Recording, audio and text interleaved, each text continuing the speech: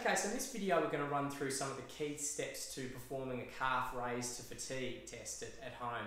So first couple things with this, with the, the hands up against the wall, we just want the fingertips. So we don't want them with the whole hand because what will happen is they'll try and pull themselves up the wall with their hands there. So fingertips. Second one is, is making sure they get the full height of the calf raise. So, so for this, what we'll tend to use, I'll tend to just use a, a ruler, but you can use anything, anything at home. And what you, what you do is you have them on both feet raising as high as you can, so as high as you can there, and then we set the ruler at the maximal height, okay, and then going down for us there, so that then going on to one leg for us, so that each, each rep has to go as all the way up down, and good for me there, and all the way up there.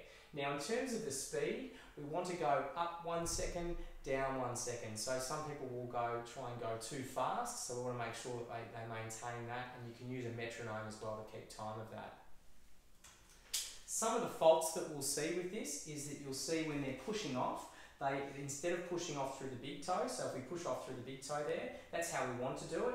Sometimes we'll see them push through the outside of the foot, so rolling out through there. The other fault that we'll see is sometimes with this leg, they will bend that leg and try and bend and straighten, so they almost try and push themselves up with the, with the leg there.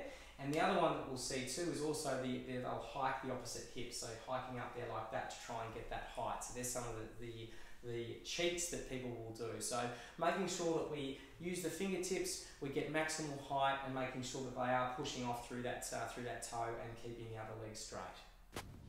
Once you perform the test correctly, how many is normal?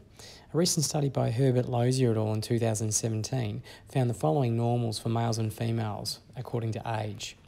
Remember that you should also ensure there is no greater than 10% difference between left and right legs.